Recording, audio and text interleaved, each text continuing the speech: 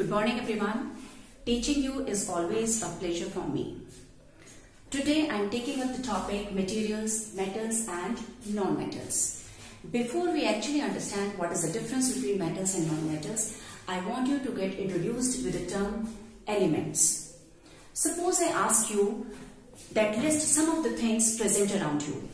So your list can include hundred of things, thousands of things and even millions of things. So there is so much variety present around you.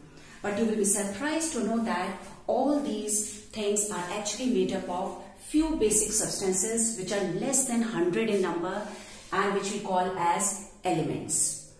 Children, there are 92 natural elements. 90 are appreciably found in the nature and there are some more elements which have been prepared by the scientists in the labs artificially. Now to make it more clear, yes, everything is made up of elements. I'm giving you few examples. Water is made up of two elements, hydrogen and oxygen. Carbon dioxide is made up of two elements, carbon and oxygen. This is glucose and it is made up of three elements, carbon, hydrogen and oxygen. One more example I am taking is that of air. I am not writing any formula for air because it is a mixture. Uh, it does not have any uh, single formula. See children, air is made up of many components and if you look at all these components, these are actually made up of different elements. Nitrogen is there, carbon, carbon dioxide is there, then oxygen is there, hydrogen is there, neon is there, chlorine is there, water vapor are present in the air so that means hydrogen and oxygen again. So air is also made up of various elements. So it by the by looking at all these examples it becomes clear yes everything is made up of elements. Children these elements are categorized as metals and non-metals which are different from each other. Even there are some metalloids also about which you will study later on.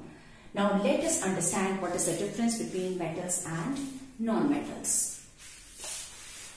First of all, let us have a look at some of the examples of metals. See children, iron, copper, aluminium, gold, zinc, calcium, magnesium, these are some metals. Non-metals, oxygen, carbon, hydrogen, sulfur, phosphorus, iodine, chlorine, fluorine.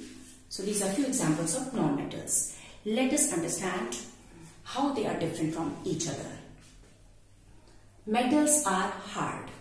You see that all these metals are solid and they are hard substances. We are familiar with most of these. If we talk of non-metals, oxygen, hydrogen, these are gases. How can they be hard?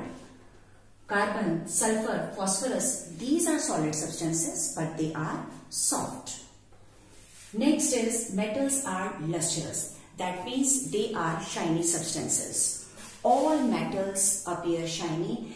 If you look at any piece of metal and it is looking dull, it is because of its reaction with the atmospheric gases. Otherwise, if you have any fresh piece of metal, it is always shiny in appearance. You must have seen fresh iron nails which are so shiny. While non-metals are not lustrous, if you look at any piece of carbon, it is dull in appearance. Next property is malleability. It is a property by virtue of which metals can be beaten into thin sheets. That is why we say that metals are malleable. Here I am showing you aluminium foil and a flat piece of iron. Can we make such flat pieces out of any of the non-metals? No. So that means non-metals are non-malleable. Next property is ductility by virtue of which metals can be drawn into thin wires. So metals are ductile. You know copper and aluminium wires are used as electric wires. Gold and silver wires are used in uh, making jewelry also. Iron wires are there which are used for making wire mesh. You must have seen that in the windows and doors and even the tea strainer. But can we make any wire out of these non-metals? No. So metals are ductile while non-metals are non-ductile. Next property is sonority and yes metals are sonorous that means on striking a hard surface they produce a ringing sound. You must have heard this ringing sound when a coin falls on the floor or the steel scale or metal utensils that is steel utensils in the kitchen and even the metal bottle, water bottle which you use, whenever it falls on the ground you hear a ringing sound so metals are sonorous. But if a piece of coal that is carbon, if it falls on the ground you don't hear any ringing sound. So non-metals are not sonorous. Metals are also good conductors of heat and electricity that means they get hot quickly and also they can pass electric current through them. And that is why cooking utensils are made up of metals and metals are also used for making electric wires. While non-metals are poor conductors of heat and electricity. Now I want to tell you about two more properties, physical properties of metals and non-metals to differentiate them.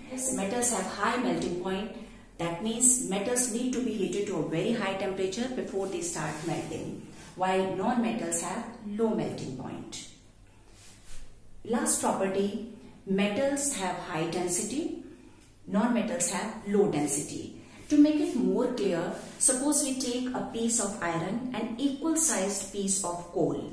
That means volume is same, but the mass of iron is more and the mass of this that piece of coal is less and mass per unit volume is called density. In this case volume is same as I just told you but mass is coming out to be different so which makes it clear that mass per unit volume that is density of metal is more that of non-metal is less. So these are the differences between metals and non-metals on the basis of their physical properties. But there are some exceptions associated with metals and non-metals.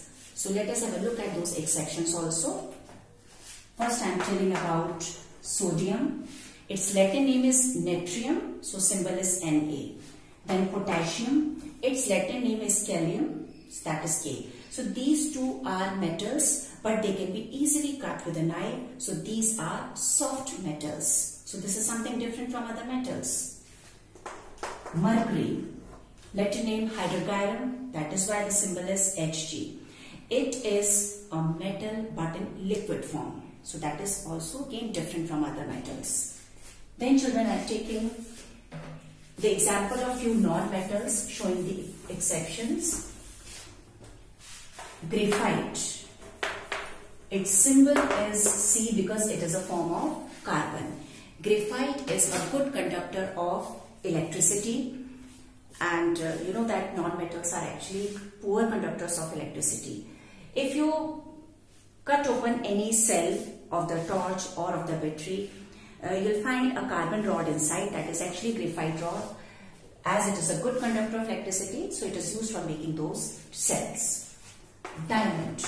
Its symbol is also C as it is also a form of carbon and it is a non-metal but it is hard. Next example is of iodine. It is a non-metal but it is lustrous. So with that I hope it is clear to you about the physical properties of metals and non-metals. Keep appreciating science. Have a nice day.